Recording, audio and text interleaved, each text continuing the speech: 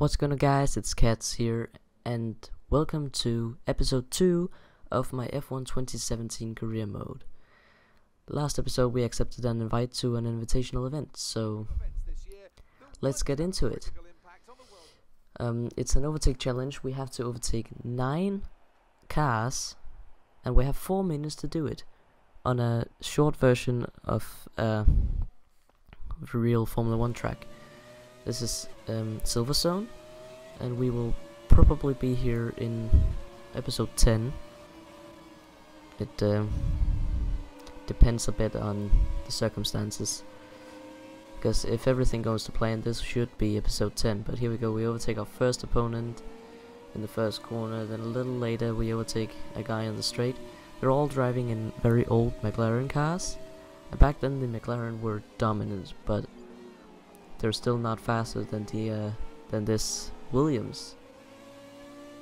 And it's a bit fun because we're driving for the Williams team uh, in our career.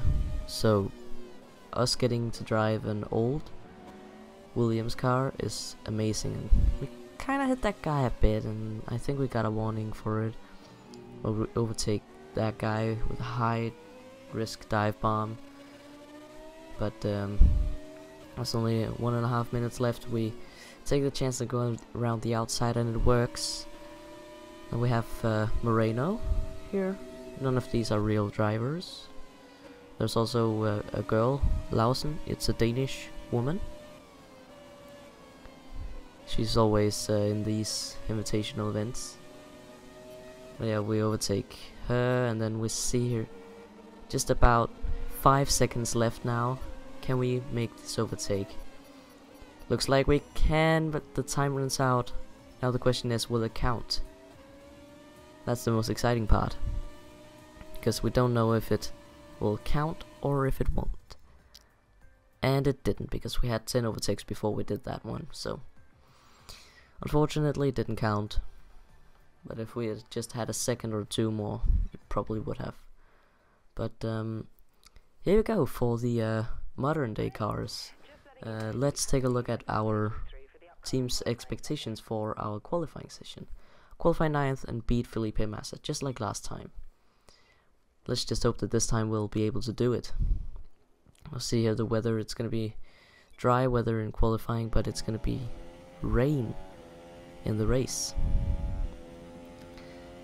But uh, we actually get a really nice start here, just before any corners and everything we're P1 and we do P1 pretty much the whole way through the snail section but then we lose it and we're P5 and then we start dropping a bit and nothing much really happens then. We're in a provisional P8 here for this corner and uh, yeah it's P8 nice so um we beat the uh, expectations, but I don't know, did we beat Felipe? Yes, we did. We are better than Felipe Massa. He qualified 11th, but I think I heard something about that. He had to get a uh, gearbox change, which is not allowed before completing six races. So he's probably been demoted down to um, to last on the grid. But um, here's the reputation level, uh, and it's looking good so far. Here we have the uh, expectations for the race.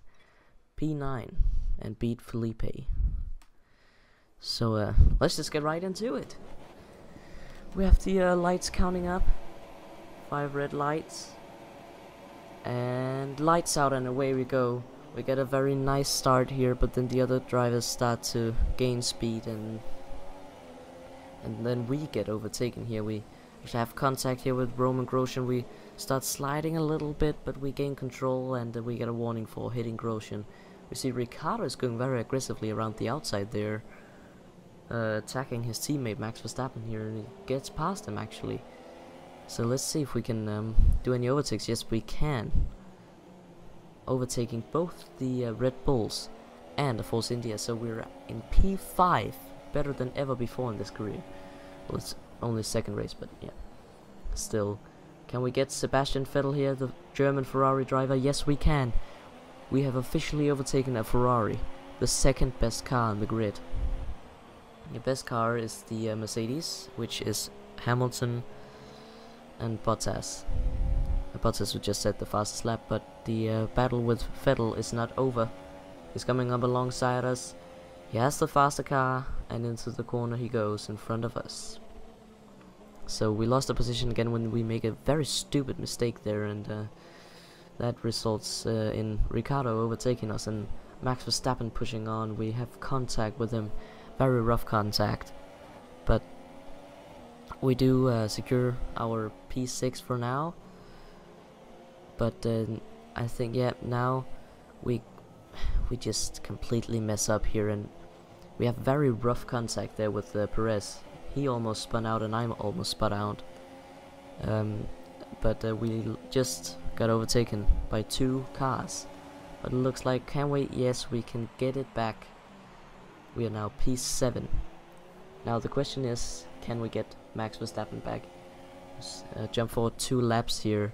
Looks like we can, yes. No, we're, we're not completely past him. He's still running alongside us. He's a bit behind us now. We go into the um, the big uh, half circle and uh, we secure our P6. Now we uh, would like to catch up to Daniel Ricciardo, but we only have just about one lap left and here we have the penultimate corner in the last lap and it doesn't look like there's enough room to overtake Ricciardo so what we want to focus on now is protecting ourselves um, for Verstappen or to Verstappen but we um, we do it and it's P6 it's very well, very well done. It's a very good result for the Williams drive. And here we have the podium, top three: Bottas first, Raikkonen second, and Hamilton third. So um, let's see here. Uh, where was Felipe? Let's just go down here and see. Yeah, Felipe Massa started P20 and moved up to P19. That's not bad. But uh, let's take a look. Oh, we got the driver of the day. Is that the Williams driver? That's us.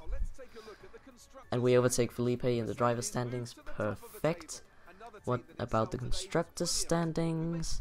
We overtake Force India, so we're now P4. So we're actually the fourth best team on the grid. Well, not performance performance wise, but uh, as you saw there, we're drawing with um, Felipe in our rivalry and uh, we have very good uh, reputation level. But um, that was it for this episode. Uh, if you enjoyed it, um, if you wouldn't mind, just leave a like. Uh, it helps me out. Um, but uh, yeah, goodbye.